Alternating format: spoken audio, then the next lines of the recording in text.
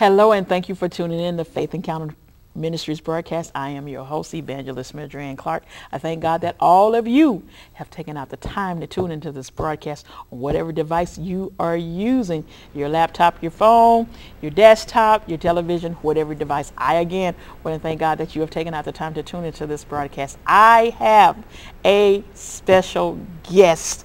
Yes, I do. A dynamic man of God.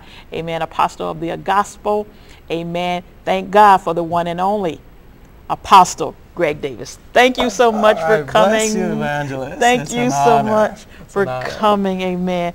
Um, I want to talk about the apostle for the 21st century. We have many, many, many um, have stated and said that they're apostles and and really don't know what it means or the cost of being an apostle. So I wanted I invited you on the show to try to define and try to help us assist uh, what it means to be a, an apostle, not only just the apostle, but the apostle of the 21st century. Amen. the apostle of the 21st century. Because we are meeting we have great challenges today uh, things that are we're saying things that goes against the word of god. What does it mean for the man of god um, to be an apostle? So what is expected for the apostle in this century the 21st century Well, well, praise God. First of all, uh, thank you. That's a very uh, interesting question, Amen. but it's a question that should be asked. Yes, sir. Uh, most times uh, we have people that understand the, the apostolic persuasion from a traditional standpoint. Yes. From a traditional perspective. And oftentimes we allow the church to dictate or even create the, the view or the perspective of the apostle Mm-hmm. when the apostle actually predated the church and, and some of the criteria that God has for the apostle has nothing to do with the standard whereby the church is set for it. Uh-huh. Okay, and so, uh, well, number one, an apostle. First of all, who wants to be an apostle? You know, I've, I've almost had to lose my life Right, to right. Um, accept that call and, and to walk um, uh, in that. It, it, it took something, you know. But I thank God that uh, the Lord knows how to fully persuade you. Yes, Hallelujah. yes. As it relates to your election and making it sure and your call. And so the apostle, especially as, well, let me just start here. God's original intent for Mm-hmm. his apostle is number one, to glorify him. all right Okay, uh, there's a fine line between the false apostle and, and the authentic one. Oh, glory, Okay, and, glory. and and that line is simply this: the both apostles, according to the word of the Lord, they they will draw the masses. They will even work in signs and wonders. Right. There, there, there's a such thing as lying signs and wonders, Right. which false apostles can appear Yes, to, to do, release. Okay. yeah. Um, however, the difference between, or the, the, the drawing line eh, between the false apostle and the authentic one is that the, the authentic one will, will give the people back to God. The false apostle will herd the people to themselves. glory. Yeah. And so that's what we have to be careful Mm-hmm. to. Everything about the apostle has to direct people back to Christ. Mm-hmm. That's the key thing. That's the apostle's nature, to direct the people back to Christ. It's all about him. Right. It's not about building our, matter of fact, there comes a time when the immature apostle. Yes. Now all of them aren't, it, there's, all of them aren't phony and, and, and, and, No. and fraudulent, but there's not. some who are very immature. Okay.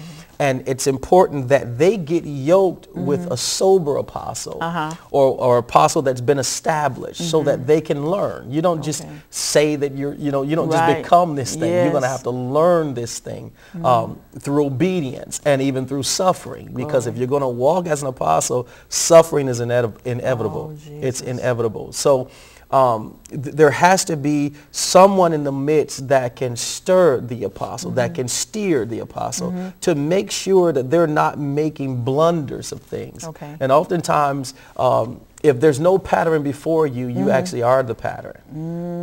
If there's no pattern before you, you, you become that pattern. And uh, like Paul, uh, the word of the Lord says Yeah. that God taught Paul personally. Oh, my God, Okay? yes. And, and so it's one thing to have no one to teach you, to Yeah. instruct you, but it's another thing to sit under instructors, okay? And that's really the route we want to go. Mm-hmm. Right. Uh, there, there's sometimes we, we end up in blunders because we're not seated under someone that, Mm-hmm. Okay. that can instruct us. So like any other uh, gift or ministry Mm-hmm. gift, we have to mature. Right.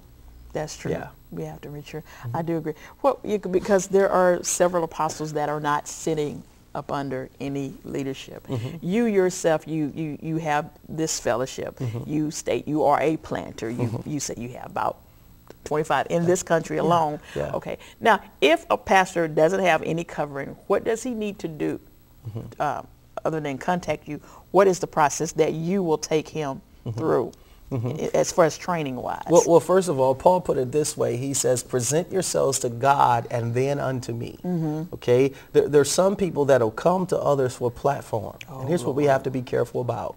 Okay? Um, Paul said, present yourself to God. Give yourselves over to God and then unto me. Okay? Mm-hmm. Because it's all about Christ. And so if, if you're obedient to him, you'll be you'll you'll align with, me. you. Okay? And so it's it's not so much as about man ruling over another man or man having authority over another man. It's about servicing. It's about relationship, okay? Uh, leader shifting. Um, if, if someone says, hey, you know what, the Lord has uh, called me and uh, I'm going to sit with you, we're going to walk together, we're going to serve together. That's it. The proper term is undergirding. Sometimes we cover people and they can't go anywhere because we're covering them. and so there has to be a divine undergirding. We're, we're to undergird individuals uh, and, and to release them into their ministry gifts. True apostles will always train you Mm-hmm. and really train themselves out of a job. Let me, let me put it this way. Oh, Um, wow. I, I have to train you to a place where you don't need me. Glory. It- The, the more you can be, begin to do things the way you've seen me do it, but better, now I'm doing what I'm supposed to do. Wow. Oftentimes there are people that would, will try to keep you with them all your life. Jesus. But the fact of the matter is, uh, it's apostles' job to train, anoint, and release. Mm. We release you to your next dimension, your next phase of ministry. Mm-hmm. And oftentimes that doesn't mean being with us. Wow. Amen. So we have to be willing. and so apostles have to have a strong prophetic dynamic within themselves to know when God is saying, okay, it's time for them to be released. Glory. Glory. Glory. What process you as an apostle? Mm-hmm. What process that you had to go to where you where you what training did you go through? Like um, me, for instance, I was a missionary before I was evangelist. What was the procedure you went through before you actual became the apostle of your Amen. fellowship? well, the, the, the, the apostle is, is not um, an appointed grace. He or she is an anointed grace. Okay. In other words, man can't make you one. You- Glory. God has to call you from the before the foundation of the world. All As a matter right. of fact, you, you have to attain that grace Mm-hmm. before you come into the earth, before you're born of a woman. You've already been demarcated. God has already separated you. He said, Jeremiah, before I formed you in your mother's womb, I knew, you, Mm-hmm. you. and I ordained Ordained you. you. I called you to be a prophet. Before you got here, Right. it was already on you. Yes. That's that has to that's the grace that's applied to apostles and prophets. Mm-hmm. Now, uh, it's another thing, you know, when you began the work and and all of a sudden God is now bringing identity. You're, mm-hmm. you're finally you're understanding. Okay, this is who I am. Right. Oftentimes He calls the apostle through a lot of hardship. Okay, I'll tell you how I know God called me to it. Um, it's almost as if folk will try to kill you. Oh, Jesus. It, it takes Lord. it takes a, a grace because so Mm-hmm. what God does with the apostle, He equips and prepares the apostle on the backside of the desert. They Jesus. they they they go through hard things Mm-hmm. before God releases the before God releases the mandate or the mantle. Mm-hmm. They've already experienced it, and so before they get the title, they're already walking in it before the title was ever put on their put on their shoulders, before anybody says, "Hey, you're an apostle," they already have experienced the grace to walk in it. It, it- it was done on the backside of the desert. The, the apostle is always the one. um, they, they get uh, beat down first. They, they lied on first. They're, they're talked about first. Amen. And oftentimes in the kingdom, and, and this is something that you know, I've, I've kind of taught on this series for a while now, most of the time it's the people in the kingdom that aren't doing anything that has mm. everything to say about the ones who are doing Oh, something. Jesus. Hallelujah. Oh, my Lord. And so that's that that that can be something. It really could. But we learn how to love our persecutors. Okay, yeah. Apostles, prophets, Right, and, have to. and, and even evangelists. And- Yes, and, I sir. say this too, we, we sort of flow in that same dynamic Mm-hmm. because the evangelist has to be one that produces signs and wonders. Right. Uh, the Lord began to deal with me about uh, when Christ, um, when he at, after his ascension, he, he walked the earth, and the word of Mm-hmm. the Lord said, with many infallible proofs. He showed himself after his passion with Yeah. many infallible proofs. These are the things that we have to display. Infallible proofs. Mm-hmm. My it's Lord. in us. It's it. Nobody has to. If I have to tell you who I am, I'm not who I am. Oh, bless the Lord. Hallelujah. Uh, uh, if you're discerning, if, if, if that's a gift that you have, uh, the moment I walk through the door, I don't have to say who I am. You can discern it. You're right. right, Amen. Right. and those right. are infallible proofs. And Yes. so um, we have to be able to walk in that dimension, walk in that dynamic where we don't have to say anything, just watch us. Mm -hmm. Mm -hmm. Mm -hmm. to let your light so shine so that men may see Absolutely. your good Yeah. works. Define the apostle as the strategist because he is he is known as one. Can you like elaborate on that? Oh, absolutely, absolutely. A little bit. You know, the, the one of the apostles' job is to strategically push the body of Christ into greater truths, greater revelation. It's it's our job to establish what's being revealed, what's being spoken. Oftentimes, um, what we do is we we glean from the invisible realm. Right, right. Um, I believe that there's no such thing as an apostle without having a prophetic dimension. Mm. Every apostle has to have a prophetic dimension uh, attached to them. Mm-hmm. Right. Because if, if, you, if you don't have a prophetic dimension attached to you as Mm-hmm. an apostle, you, you, can't, you can't direct the body the way the body needs to go. Right. That's why, it, it, and oftentimes when there's a ministry that's anchored by an apostle, that church, um, it's, it's, it's religion's worst nightmare. Mm-hmm. That, that church, religious people can't stay there. no. They can't stay No. there. They, they'll, they'll walk in and say, wait a minute, I don't know what's going on. Right. here." Because when, whenever the Spirit of the Oh Lord yes. is, is prominent Yes. inside of a house, Glory. Um, nothing's the same. Nothing. The sound, the song of the Lord, it's not the same. No, Uh, the, the prophetic um, uh, ingenuity, it's not the same. Not. You, you, you can walk in late and, and you don't know whether you're at the beginning or the end of the service because uh, the, the Spirit is so free. Amen. And so um, as apostles, strategically, we're to establish God's mindset. Okay. And, and here's what's been happening. Um, mo- well, not, I'm not going to say most, but leaders have, they, they've actually been presenting Christ from a low-level frequency. Jesus, that's true. Uh, see, Christ, when he ascended, he mm-hmm. gave gifts unto men. Yeah. It's, so if we're going to know who he is, we got to know him from an ascended place. If we mm-hmm. want to know what's in his mind, what's on his thoughts, we mm-hmm. have to we have to get it from a, his place of ascension. His, his, how he's thinking from an ascended realm Right. so that we're accessing it so that we're releasing it to the sons of God. And so th- this is the dynamic in which God is calling for. Right. Most times leaders are, they'll get up Sunday morning and they'll rehearse what they heard 30 years ago, Talk 40 about- years ago. Yes, and so they're not hearing. Jesus put it this way. He said, what I tell you in the ear, Mm-hmm. that speak ye upon the mountain. It's a prophetic connotation. He's, he didn't say what, I, what you read. He said, what I tell you in, your Mm-hmm. the ear. ear. That's right. That's what you speak. Oh, and so apostles, uh, our first readiness lesson Mm-hmm. is revelation. And Paul went through something very, uh, very strategic because of the level of revelation. He said, because of the because of the abundance of revelation, there was given to me a Yes. thorn in the flesh, Oh, a God. messenger of Satan Yes. to buffet me. Yes. Be- because of the revelation God was giving me, he said, Satan came to oh, buffet me. Oh, Glory. To bu- that word buffet means to strike repeatedly with a clenched fist. He Oh. kept buffeting me. And then watch what Paul says here. He says, I sought the Lord concerning it three times. He Three said, times. I asked him to remove it. And the Lord says, my grace is, Is sufficient, my Lord. apostles flow in revelation, Mm-hmm. but that revelation will cost us our very life. Oh man, man, this is I'm, I'm being fed. I'm being fed. I'm, I'm an Amen. evangelist, but I've been buffeted. All that, all that what you're uh-huh. saying is, is mm-hmm. is present now. It's like now, now, now, mm-hmm. now. Amen. Amen. I just I just thank God because I'm I'm thinking I'm just going to do a regular interview, but I'm being fed. I'm being informed. Praise God. From the throne, and I bless God for that. Speak to me about the apostle being the planter. Mhm. Praise God. Hallelujah. Well, that's one of the that's that's one of the earmarks that, that God challenges the apostle with.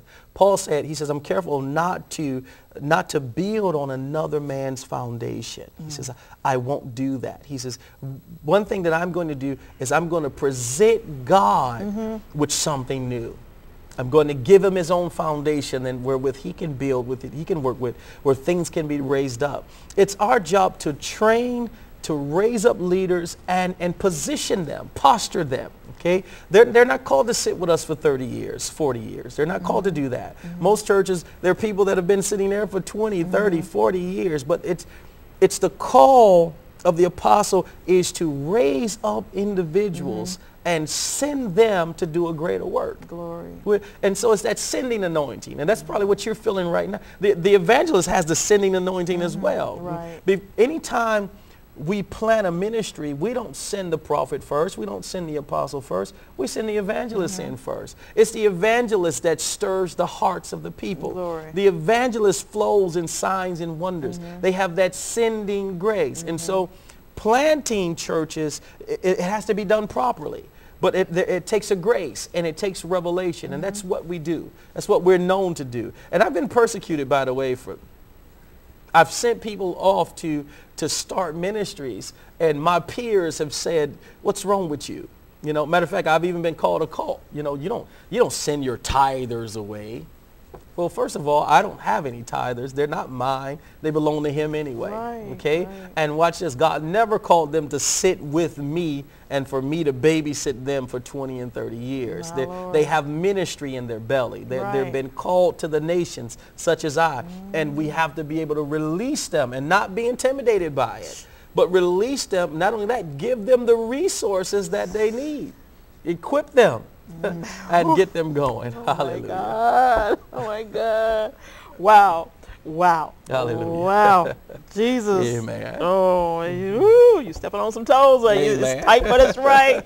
It's tight, but it's right. Amen. Um, Mm. the relationship that Paul had with uh, Timothy and Mm-hmm. Titus, as far as him being his, their uh, spiritual father or Mm-hmm. leader, uh, can you elaborate on that a little bit? You know, Amen. because it's like similarity what you're saying now. So Absolutely. can can you like correlate in a sense? Absolutely. Apostles are, the, we're, we're called to father sons in the gospel. Mm-hmm. And when I say sons, I mean male and female. There's no gender. Right, there's but no gender, We're, we're. Mm-hmm. to, we're to father sons. Right. Uh, in other words, they're, they're to take upon our DNA. Now, we, we all have one father, Right. okay? However, um, the father gives authority to men in the earth to duplicate the father-son relationship in heaven. Okay. Okay? And that's that's what apostles do. We we we raise sons that will go further than we've ever gone. Mm-hmm. We have to nurture them. We have to provide for them. We have to instruct them. We we and even discipline at times. Right. But first and foremost, they'll see our walk. As we walk upright, they'll walk upright. Mm-hmm. Right. And if and if a son can see you bowing before your father, they'll Right. bow as well. Okay. And so this is a this is a dynamic. Now, it takes longer to produce sons than it does disciples. Mm. Okay? There, there are many people, there, there are folk that will flock into a ministry, um, but they're not sons. They're, they're students. Some of them go in as students, but students don't get inheritances. No. Disciples don't get inheritance. Sons do. Yes, they you, you have to be a son to mm-hmm. get an inheritance. Right. You have to be a son to partake of a mantle. And so apostles' main job is not to just produce, but we're, we're more moved by sons. Right. The sons, because we can deal with them. We Right. could, we could, we have relationship with them. We trust one another. We can laugh. It ain't got to be all serious all the time. We can, no. sonship means absolutely everything. Wow. Absolutely. Wow, wow. Um, what do you say to that individual that knows he's called to be an apostle, that is going through what you stated you have gone through? What do you say to him or her? They know they got this calling. They know. What do you say? Because I, I knew somebody that went to somebody and said, I believe God has called me to be this, I, you know. Mm-hmm. And the leader looked at him like they were crazy. What do mm-hmm. you say there? Because this is going on. Mm-hmm. That people, you know you got this great calling, you know, you know, you know, you go tell your leader and the leader doesn't accept, what do that individual do? How do they come out? How do they trust? How do they believe? Can you elaborate or just Absolutely. share? Uh, well, take David for instance. He he he was a change agency. David David was a man that was getting ready to produce and manifest the mind of God in such a way, but he was yet under Saulistic systems. He Mm-hmm. was under Saul's governing, under Saul's government, and Saulistic systems will never allow a David to do better. Okay? What Saul says is, no, if I can't do it, you can't do it. Wait a minute, I'm king here. I'm going to get the glory. This is me. It's all about me. And so there are Davids right now that are in, under Saul's tutelage right now. Saul will never anoint him. Saul will never release him. Saul, and so God has to anoint David to run out of Saul's camp. God has to anoint David to run out of Saul's camp. Now, here's the thing. Um, apostles have to find other established apostles. Because you can run to the wrong person and they can't identify who you are. There has to be a prophetic grace upon them Yes. that they can identify the grace, the mantle, the mandate that's on your life. And oftentimes, if you run into a carnal believer, a carnal believer, they'll look at your outward expression. They'll see you going through this. They'll go and they'll term it. Maybe it's some sin in your life, or maybe you. And it has nothing to do with any of that. It's because God is ready to birth what's in them out of them because He put it in there. He knows it's there. Right. He's ready to birth it. But the issue now is Saul says, uh, "I can't let that come. I can't let that live." And then the, the, the carnal believer says, um, because they can't see in the spirit realm, the carnal believer says, well, it's because you're doing this and you're doing that. And, you, and, and so they don't understand the processing. And that's why it's important that apostles yoke with other apostles so that they can learn and understand. Wow. wow. Absolutely. So they can learn and they can understand. I, I, I, I'm full. Amen. I am Amen. full. I, I, am I'm probably full. going to get in trouble with saying this, but a pastor can instruct an apostle. Okay? Uh, um, they're, they're leaders, and I, I don't really want to start calling titles and, and positions. Right, right, right. But it takes it takes apostolic insight to raise the water level of apostolic insight. You, you're gonna. It takes an apostle to help refresh, create, instruct, build another apostle. Wow. Amen. Wow. Anything other than that, it'll it, you'll just end up in trouble. Wow. Wow. Wow. Wow. Wow. Wh- wh- Where are you currently located, Apostle? I, first of all, I'm enjoying the flow here, Evangelist. I mean, I mean, I'm just like, oh my God. I'm like, wow, wow, wow. I'm just, Amen. I'm, I'm just amazed because um, what you've said is something that I um, have experienced. Um, I have children, you know, they're not saved, mm-hmm. nor, nor is my husband saved, mm-hmm. but they got the gift of prophecy. Mm-hmm. And, and they would, you know, my husband would come to service with me, and even my children come to service with me. And my oldest daughter came and told me one time, she says, Mom, you are around people who are jealous of where you're going. And I said, well, they got more than I have. She said, that doesn't mean anything. She said, they're just, she said, they see what you are. Mm-hmm. She said, and they're jealous where you're going. So it's, it's very I'm glad you're touching on things that mm-hmm. I have gone through, and I, I don't claim to be no, you know, it's no farther than evangelist. I mm-hmm. don't claim to be no. I, I, I stay where I'm at. I'm, I'm, I'm in my lane. Let me uh-huh. say it like this: uh-huh. I stay in my lane. And I've had people say, "Oh, you're an apostle." No, no, I'm not. No, you know. But this is very important. This is, you know, there should be some workshops or something to to really help build the body, help build not only just the apostle, but build other parts, build the prophets, build this because Absolutely. There are some of us who are really going, we're going through this right now. Mm-hmm. We're being persecuted, we're being talked about, we're being lied on, we're being laughed at mm-hmm. because we're different and Yes. we're unique and we hear the voice of God. Absolutely. God. We hear God. I mean, when I get up, I literally hear him. And mm-hmm. sometimes I say, wait a minute, I don't want to do that. I don't, I don't want to say Absolutely. that. And I get it where he'll say, say it. Even to the point where I was in a service one time, the Lord instructed me. I was, I had a service at this particular particular church and the Lord told me, he said, I want you to ask people for $20. dollars mm-hmm. I said, I'm not going to ask them for $20, Lord Okay. because they don't have it. Mm-hmm. He said, ask the people for $20. I says, no, I'm not going to ask them for $20 because mm-hmm. they don't have it. Six months later, I was host of a conference and the leader of that congregation asked five people for $100. One of the persons she asked for $100 one of the persons who gave $100 was one of the persons I thought that didn't have Uh-huh, 20. dollars uh-huh. So it's very important that Uh-huh. we hear the voice of God in every aspect, even when it comes to offering time in anything. So I'm, I'm glad you're speaking on revelation. I'm, I'm glad this is, I'm just full. I'm just full. Amen. Um, I'm full. Hallelujah. Um, okay, we talked about the strategist. We talked about the planter. Let's talk about the apostle when he holds uh, more than when he's the pastor. How does he? How does he hold all those roles? Because he's a pa- pastor as well. Amen. How are you Amen. holding it? Let Amen. me say it like Praise that. God. The apostle has to have pastors with him. Uh, See, oftentimes, if, if the, the apostle comes away from the apostolic role, Okay. he- he, he can actually, he or she can actually open themselves up for attack. Okay. See, if, if the apostle, Peter, Peter put it this way, he says, you know, we can't stop what we're doing in fasting and praying and wait tables. He says, we can't do this. He talked about in Acts when there was a murmur, there was a, there was a murmuring and there was a disagreement uh, with the widows. Some were saying we were being neglected, so on mm-hmm. and so forth.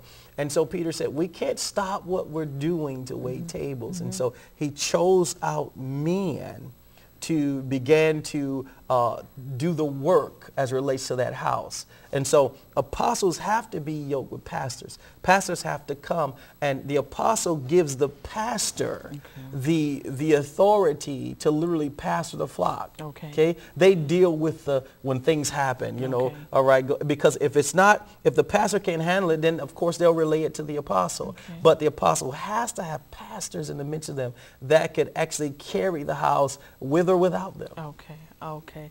I've, I've, I've, I've truly, truly, truly, truly, I mean, I really, from the, I've really enjoyed this. Listen, I thank God that all of you have tuned into this broadcast.